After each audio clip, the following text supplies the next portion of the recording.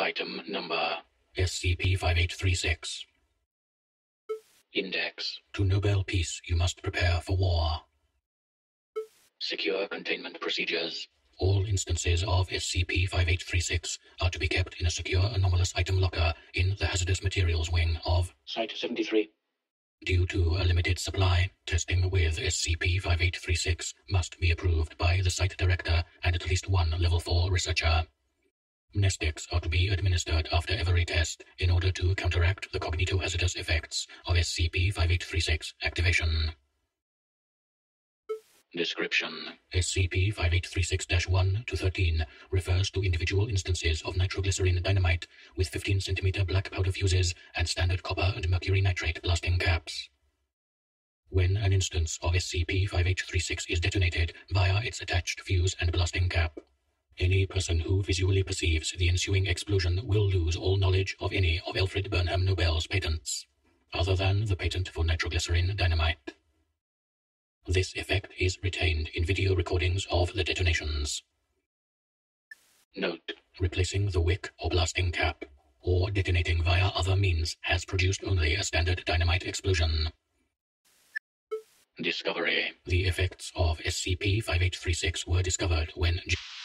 Lilliard, a history student studying Nobel's legacy at the University of Minnesota Rochester campus, viewed footage of an early test detonation, presumably involving an instance of SCP-5836. Following the viewing, Lilliard began shouting at his roommate, claiming that he had forgotten months of study in an instant and would never have time to study Nobel's 300 some odd patents before the presentation on Monday. Note There are over 350 patents in Alfred Nobel's name, a majority of which are for weapons. Lilliard was given a drug screening and sent to an on-campus counselor under the assumption that he was suffering a pre-finals nervous breakdown, an occurrence common among college students.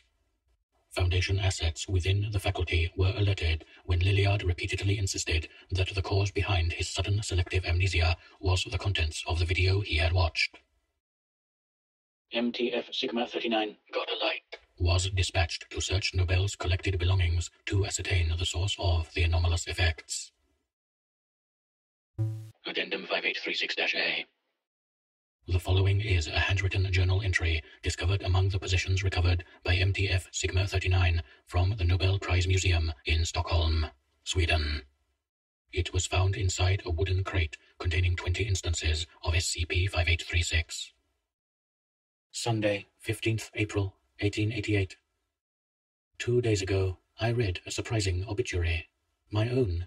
My brother Ludwig, God rest his soul, passed on Thursday. Several prominent French newspapers mistakenly assumed that it was I who had passed.